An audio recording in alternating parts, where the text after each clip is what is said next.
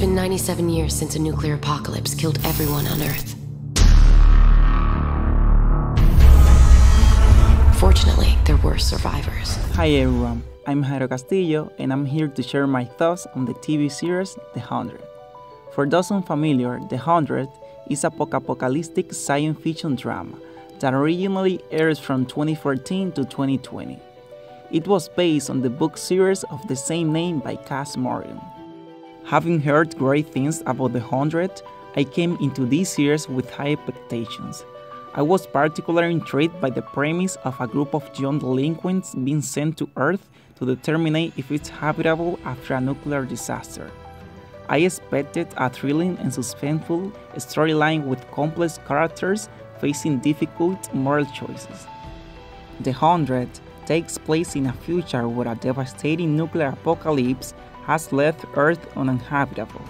The survivors, who were living on a space station called the Ark, sent 100 juvenile prisoners to Earth to test its viability for recolonization. Once on the ground, they discovered that Earth is far from empty, encountering other group of survivors and facing numerous challenges.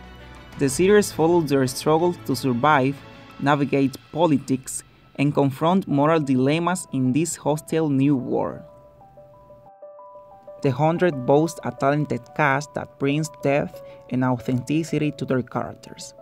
Eliza Taylor as Clarke Griffin, the best, my friend, I love her, and Bob Morley as Bellamy Blake anchor the show with their compelling performance.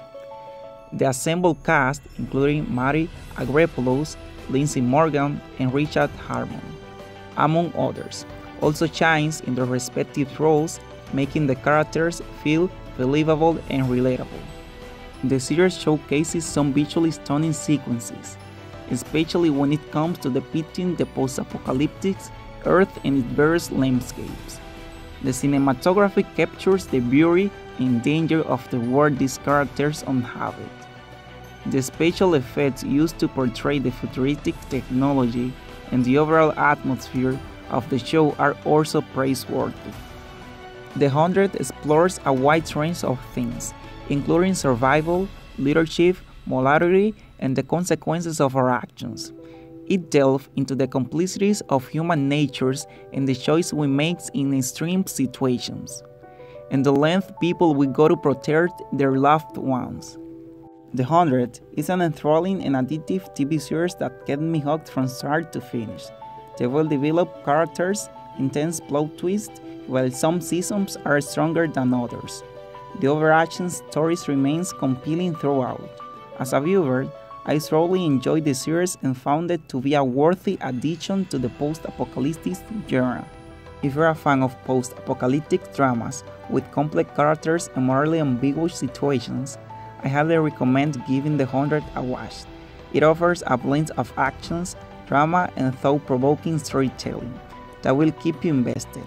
However, be prepared for some dark and gritty moments as the series doesn't shy away from exploring the harsh realities of survival. In conclusion, The Hundred is a gripping TV series that offers an intriguing premise, talented cast, and a thought-provoking exploration of human nature. It strikes a balance between intense actions and compelling character development. If you decide to embark on this journey, I encourage you to share your own thoughts and opinions on the 100 in the comment section below. Happy watching.